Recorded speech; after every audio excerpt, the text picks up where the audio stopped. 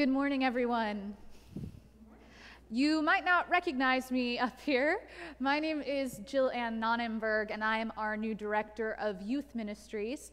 Pastor Kirk is out this morning with laryngitis. Uh, he has lost his voice, but otherwise he is feeling okay. And so Pastor Annalise is going to be delivering our message this morning, and I am filling in as liturgist. Uh, since this is my first time doing this at Braddock Street, I thank you in advance for your grace when I inevitably mess everything up and the service is ruined. Here at Braddock Street, our mission and our vision as a community is that we love God through worship, we love one another through small groups, and we love our neighbors and the world through service. And so, if that sounds like a mission that you want to be a part of, then you are in the right place this morning. Just a few things to let you know as we begin worship. If you do have a prayer request that you would like our community to pray over in the coming week, you can either send that to info at Braddock Street, uh, info at braddockstreetumc.org, or for those folks who are joining us online, everyone say, hello, people online. Uh, you are also welcome to drop them in the chat or on the Facebook page. If you are new here, and I'm, it's possible that no one here is new, but you're new to me probably, so I will just say this in case. Uh, there is a green card in your pew uh, that you can fill out with just a little bit of information about you uh, so that we can get to know you. Pastor Annalise and myself will also be in the gathering space after worship, and we'd love for you to say hello and once again, our online folks. Uh, if you, this is your first time joining us, please just drop your name in the chat uh, so that everyone can welcome you. And uh, let's see, oh, yes, very important. Our Healthy Church team uh, met this past week, given the surging cases of COVID in our community. And I am glad to say that we have decided that it is okay to continue in person as well as online worship. However, to ensure that we are loving our neighbors uh, through keeping each other safe, masks are going to be required at all times indoors, uh, regardless of your vaccination status. And we do ask that as you are able, if you can try and keep that CDC recommended uh, three feet of distance around you uh, as best you can. I, I, saw that over there. Uh, no, no pushing away your loved ones. This is not an excuse. Uh, Pastor Annalise, myself, our leaders uh, will take off our masks at certain times throughout the worship when we're far enough away from everybody so people who need to can read our lips. Uh, but other than that, we will also uh, be observing our mask rule. Now, really quickly, I know that you've all been standing already for a little bit. I'm going to go off script for about 20 seconds because you know, with everything going on, like pandemic and supply chain craziness, and maybe there's going to be a snowpocalypse this afternoon, and whatever else you are bringing with you to worship this morning, know that God has space for that. And I invite everybody, it's a little awkward with our masks, but let's just all take a deep breath together. In and out. You are here, and God is here with us, no matter what we are bringing. And so, in that spirit of gratitude and worship, I invite you to remain standing as our music team leads us in our first song.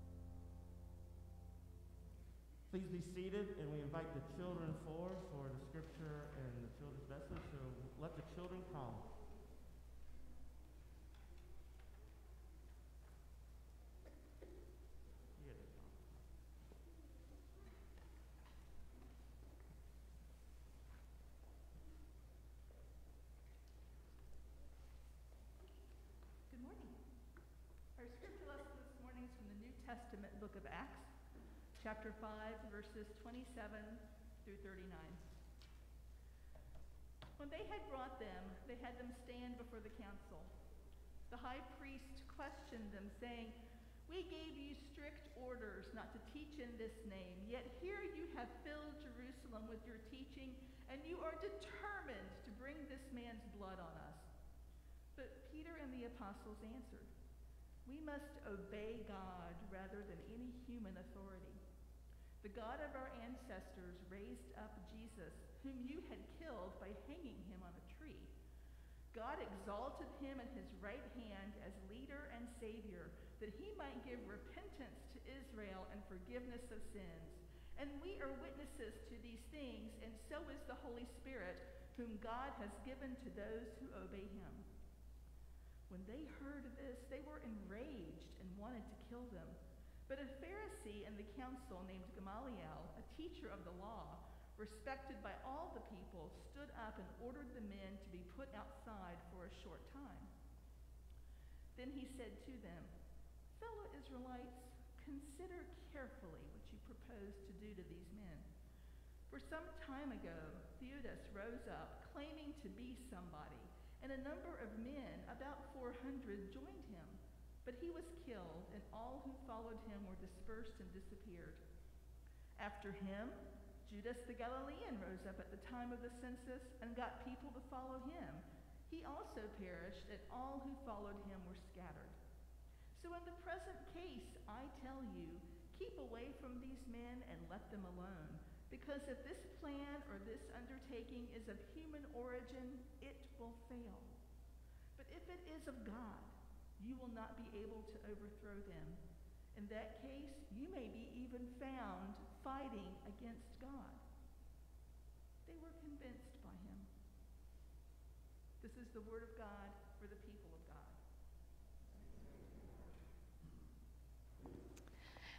Hey, friends. Um, so, I'm probably a person you don't know. I'm probably a stranger.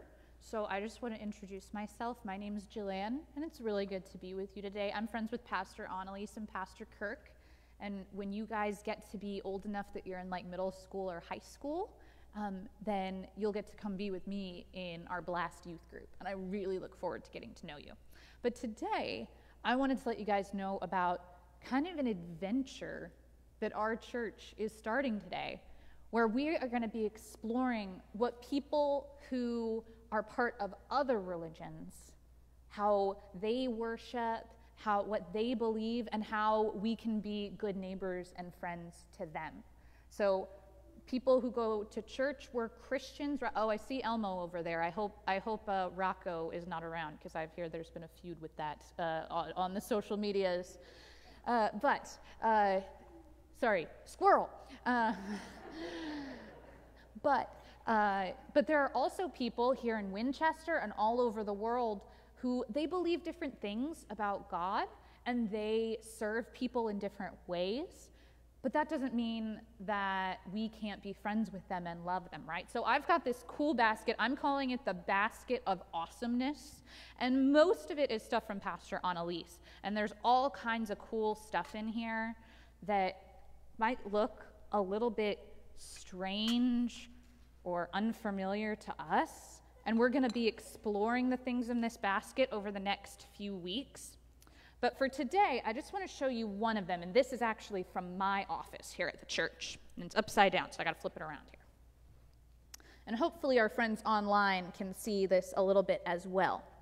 But this, this is a banner that has all kinds of different symbols, pictures that we use to know about other religions in our world. So you might see right here, there's a cross for us Christians, right? And over here, this is called a Star of David, and that is about for our Jewish brothers and sisters. But the writing on here is that even though all these religions believe different things and worship in different ways, we still have some things in common, right? Maybe you have friends at school who aren't exactly the same as you, but you still have things you both like to do together, right? And we call this thing that almost all religions in the world believe, we call it the golden rule, to say that maybe it's like gold because maybe it's the most important, right? And the way that Jesus said it was that we should love our neighbors as ourselves. And that's on here, that's on this banner. But also on this banner is ways that the golden rule is said in other religions. So, for example, uh, let's see, I want to make sure that we're doing what. Here we go. So, some people are what are called Buddhists, and their way of saying the golden rule is make your own self the measure of others, and so abstain from causing hurt to them. And all of these religions that are, have all these different symbols for them, they all say that basically the most important rule is love other people the way you would want them to love you. And we're going to be talking in this adventure sermon series about a lot of different about a lot of the differences between us, but I think it's also important to remember that we have a lot in common too. So for our prayer today, could, could we do something maybe a little bit different? And you you guys up here in the front and the grown-ups in the seats and everybody online, could we could you maybe repeat after me for our prayer? Would you be okay doing that? All right. So repeat after me, big people and smaller people. Dear God, help us to love others for the ways that we are the same and the ways we are different. Amen. Thank you guys so much for coming up here and talking with me. You guys can go back to your seats if you want.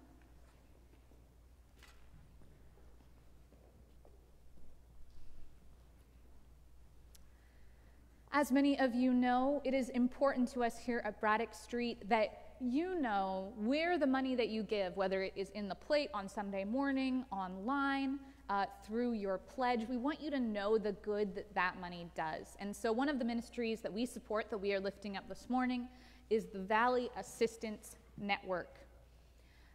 Over 70, per, sorry, almost 70% of the families uh, who work with VAN are those who are working full time. They are employed, and yet, and this is a story we've all become more and more familiar with, unfortunately, during the pandemic. They're just one crisis away from being in a very dangerous situation financially. And so, VAN is a place they can go to be referred to resources that are already out there to support them, as well as to receive financial literacy and emergency assistance. And as I said, the need for this has only exploded in the past two years. And so I want to thank you uh, for the generosity of your giving and all of the ministries uh, that Braddock Street supports that are helping to transform our community. Uh, and with that, I would invite the ushers to come forward so that we can continue to worship through our giving.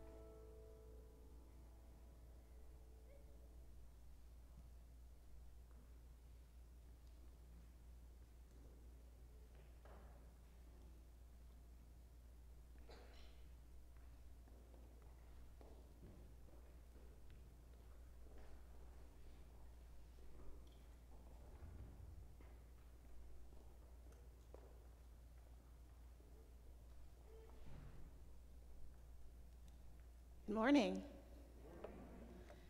My name is Annalise Stevens Jennings, and I'm one of the pastors here at Braddock Street. And today we are beginning a sermon series about world religions and how Christians can relate to their adherents. It is based on a book by Reverend Adam Hamilton, um, and the book is of the same name as our series, which is Christianity and World Religions. And before I begin, I want to offer you all a quote from Reverend Dr. Martin Luther King Jr.'s World House essay, and it goes like this Some years ago, a famous novelist died.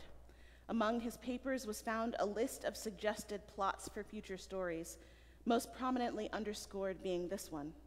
A widely separated family inherits a house in which they have to live together.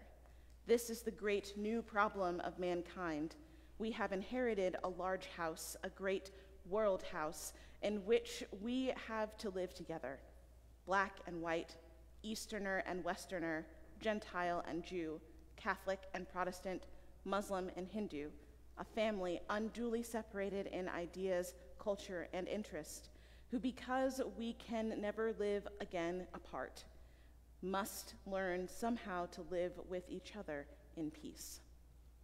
Please pray with me.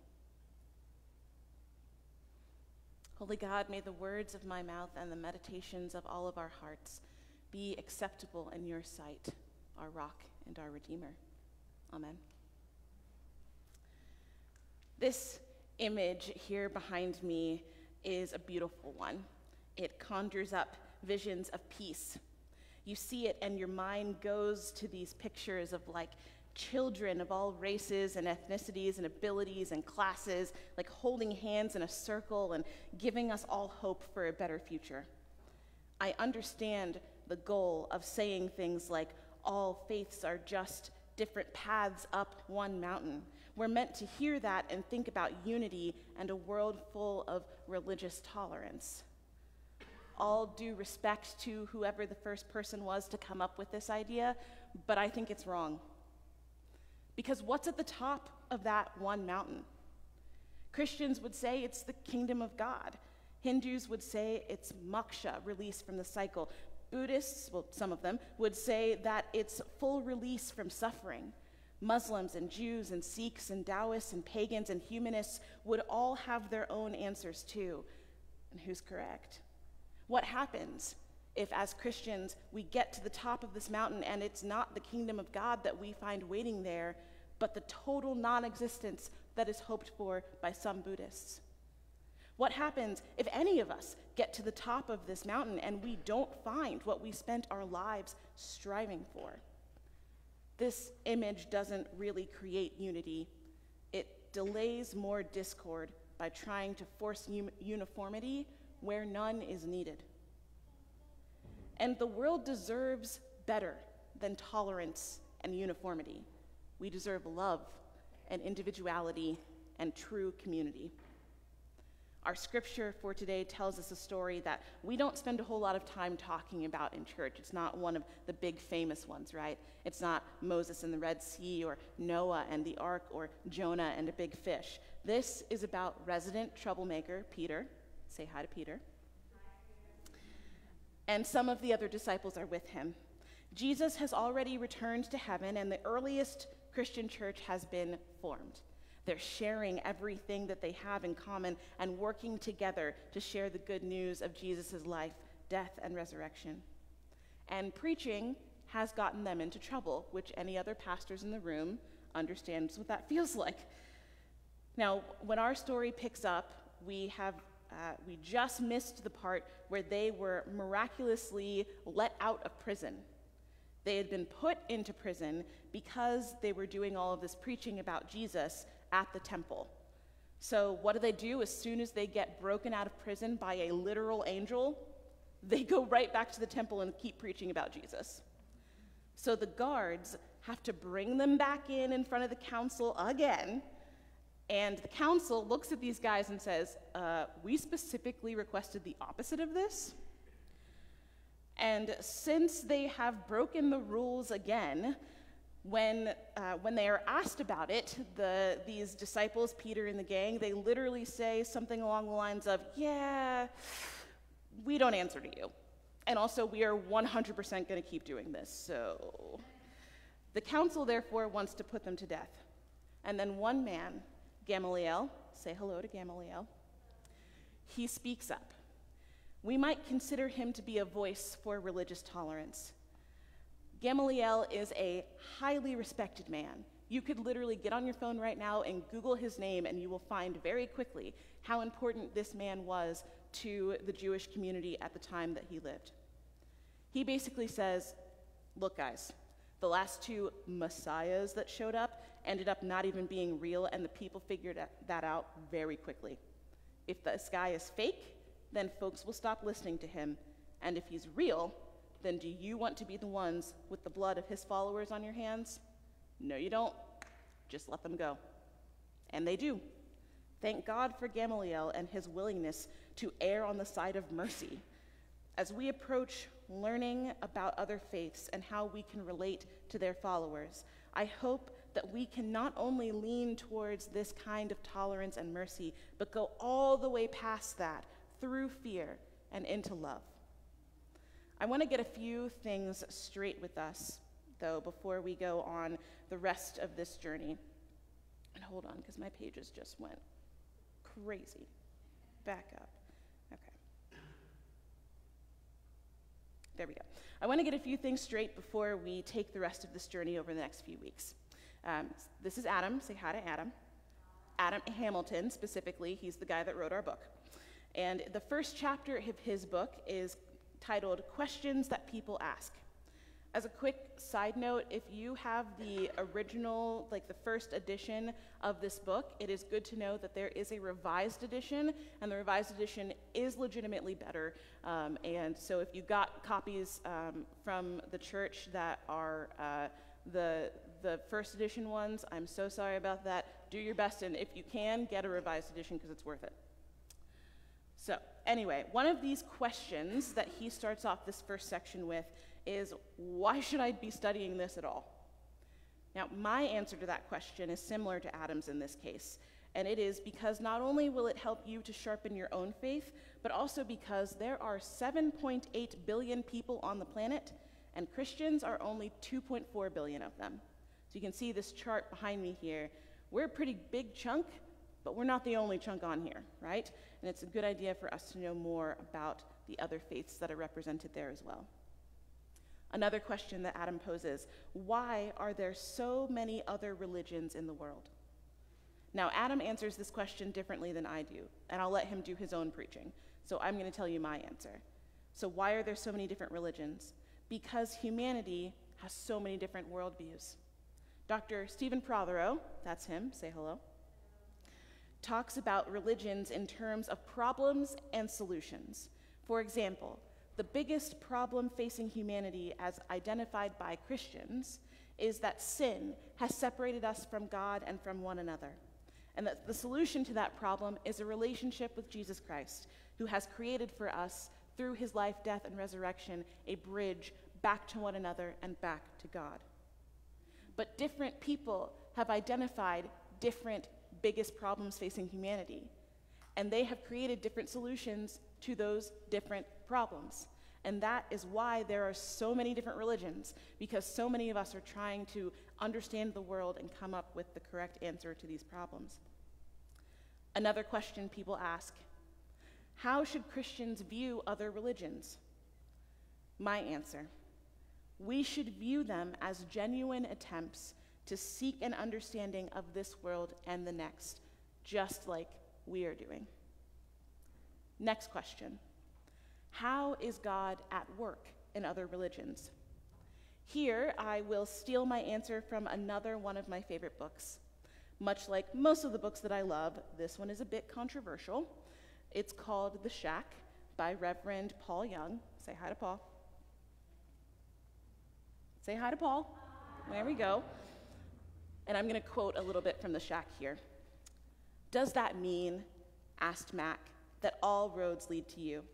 Not at all, smiled Jesus. Most roads don't lead anywhere. What it does mean is that I will travel any road to find you.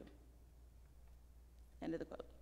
Now, this is a simplified answer, which is great because simplicity is often concise, but is also not great because simplicity tends to lack nuance. So, without doing a whole sermon within a sermon here, let me just say this. I don't believe that all paths lead to Jesus. I also don't believe that all paths lead to nowhere. But I do very much believe that God will find us on any path on which we are traveling. The last question that Adam identifies as one that many folks will ask about world religions in a study in a Christian church, right? This is the question that we have to get it out of the way before we can go any farther. And the question is what is the fate of people who are not Christians, people who genuinely follow other faith traditions?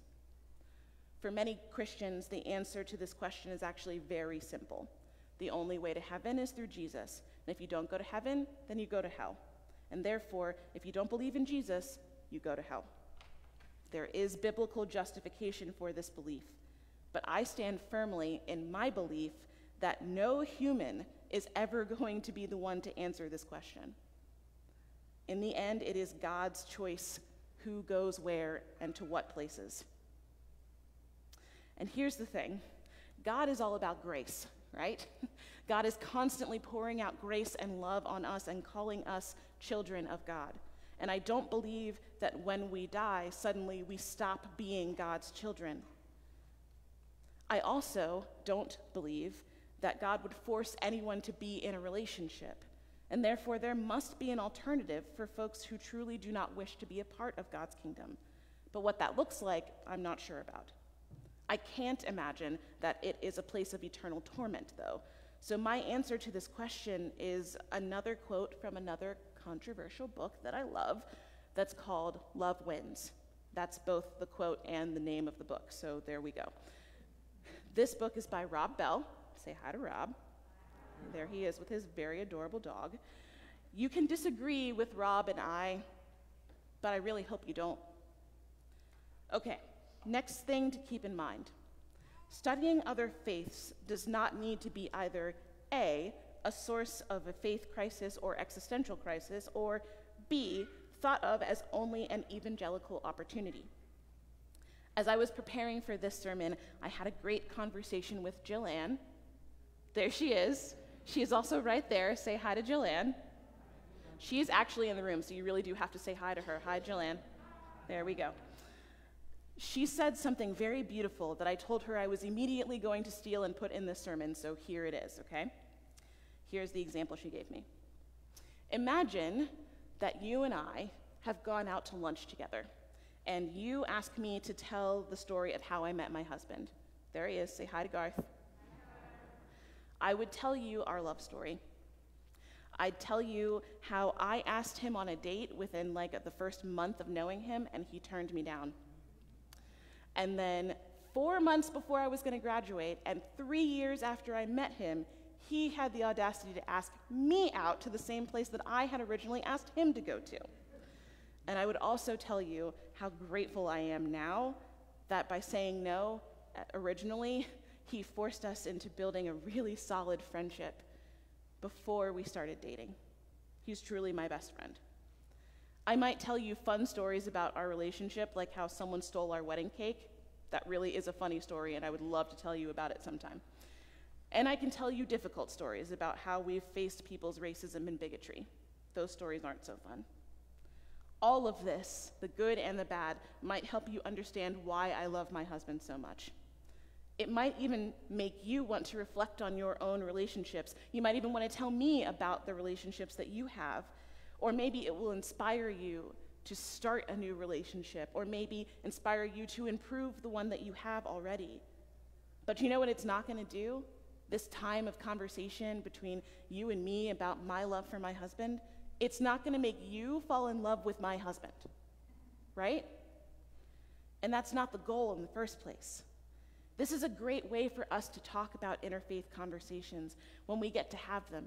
Our goal is not and should not be to hear someone else's love story so that we can change them, but to hear it so that we can know what has edified somebody else in their faith, to learn their love story of their, of their faith. We might pick up some really good ideas from them and share ideas of our own, and we'll hopefully have a closer bond with this person that we have shared these things with but we're not going to lose our own faith in the conversation. And our goal in the conversation shouldn't be for them to lose theirs either. Hopefully, what's going to happen is both of us are going to walk away with stronger faith. The last point is one that I've already started to make. We are not many paths up one mountain. Humanity contains many mountains, and there are several paths up to their summits.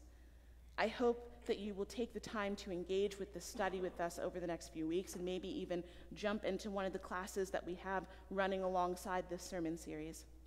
In our classes, we'll be looking at Hinduism, Buddhism, Islam, Judaism, and Christianity. Along the way, we'll be talking about the different mountains and different paths up to their heights. We'll talk about what we have in common with these faiths, and we'll talk about what is different. All along the way, we'll keep in mind that being different doesn't mean that we can't have unity. It means, in fact, that we can love each other and create unity without forcing uniformity. I'll leave you with this example. This is a picture of me. Say hi to me. And some of my fellow seminarians as we attended what was then called the 9 11 Unity Walk. It takes place on a Sunday in September and is, was established in the aftermath of 9 11 2001 when there was a great deal of hatred towards people of other faiths, especially the Islamic and the Sikh communities. It takes place on Massachusetts Avenue in Washington, D.C., starting at a synagogue and ending at a statue of Mahatma Gandhi.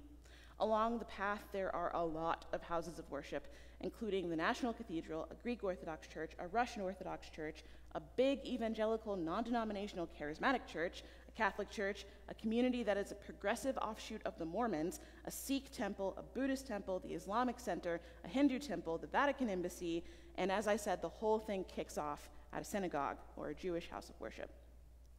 Each of these holy places would open their doors so that you could come in and see what worship would be like in that place.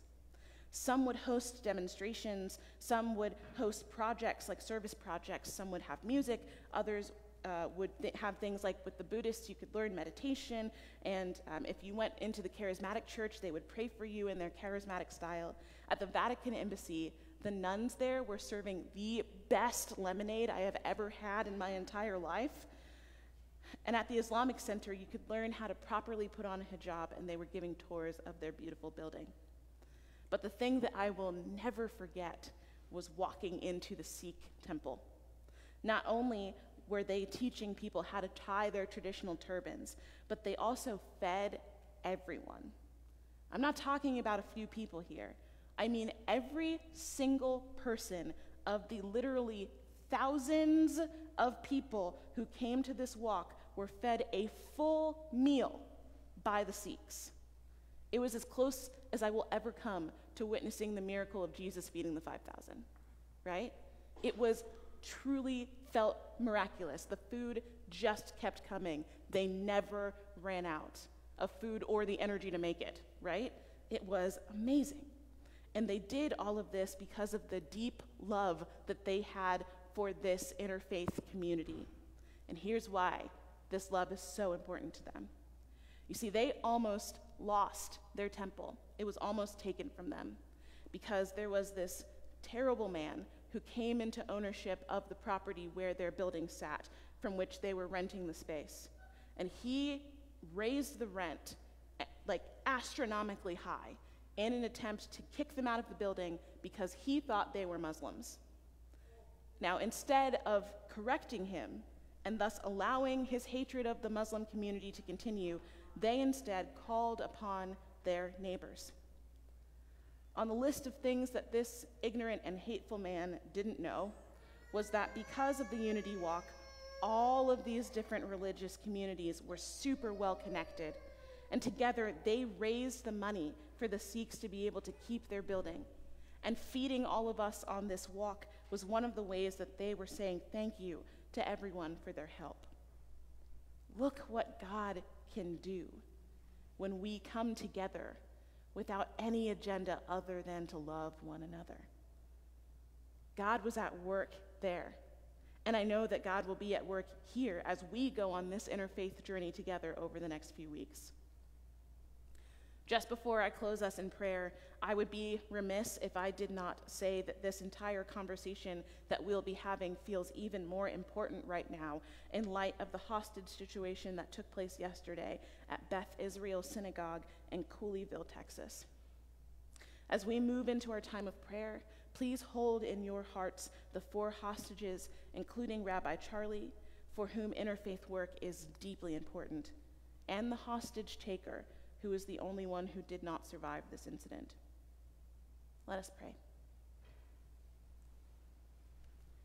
God, grant us peace and reconciliation, but not before you grant us justice and difficult conversations. Show us the way back to you and to each other. On this weekend, where we stop to remember the words, actions, and legacies of Reverend Dr. Martin Luther King Jr., I ask that you would help us to remember his words and his actions, and help us to remember who taught him everything that he knew. And that's you. Help us to hold his words close to our hearts, not just the beautiful words, but the ones that we don't often quote, the ones that convict us, the ones that challenge us to join the movement for racial justice, economic justice, and the hard work of interfaith dialogue. We lift to you this day the people of Colleyville, Texas. We lift to you our guests at Watts this week. We lift to you all of those who will be negatively impacted by the snow. And we continuously lift to you, God, the victims of COVID 19 and their loved ones, and all of our healthcare workers and essential services employees. And we lift all of these things to you in the name of your Son, our Savior, Jesus Christ who taught us to pray. Our Father, who art in heaven, hallowed be thy name. Thy kingdom come, thy will be done on earth as it is in heaven.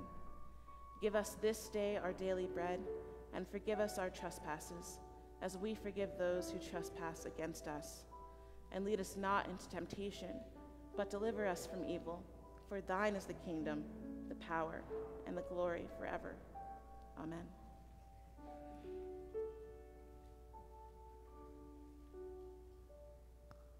Please stand and join us as we sing, sing, sing. Sing, sing,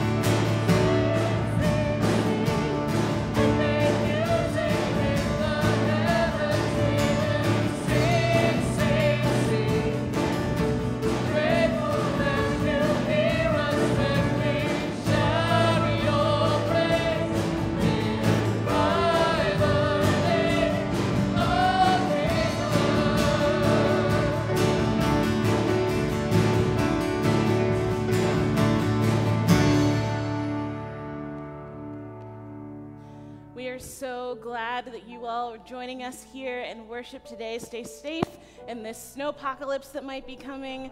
Um, and we're so just thankful for your presence with us in worship. Couple things to know as we go forward. Um, there are classes that are going along, reading the book that goes along with our sermon series. And if you would like to be in one, you have four opportunities to do that. Two of them are Sunday mornings, those two happen to be during this service, so sorry about that. Um, one of them is with the Koinonia class, the other one is with our plus one class. But if you would like to continue worshiping at 10 o'clock and not go to those, but still want to be in a study, you have two other opportunities. One of them is Monday nights. That class is meeting on Zoom at 6:30, starting tomorrow. Yes, I know it's a holiday day, but we're doing it anyway. Um, so if you would like to join us, please do jump in, and especially on this first week, if you don't have a book yet, you will be fine. Um, I do suggest you. Uh, pick one up. We have the first edition copies, still a few here at the church, or you can get online and get the second edition, which is better. And then um, we also have an in person study option on Wednesday afternoons at 1 p.m., and we will be in room uh, 132, which is the multi-purpose room down at the end of the long hallway. So I hope that you all will come and join us for one of those studies. And hear now your benediction. Now go in peace to serve God and your neighbor in all that you do. May those in this world to whom love is a stranger find in you most generous friends, and may the blessing of God, the Father, the Son, and the Holy Spirit be with you and remain with you always. Amen.